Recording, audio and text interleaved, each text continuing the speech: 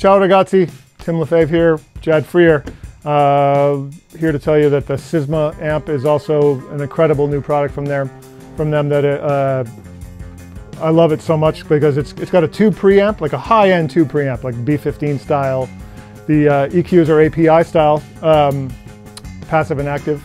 Uh, 900 watts at 2 ohms.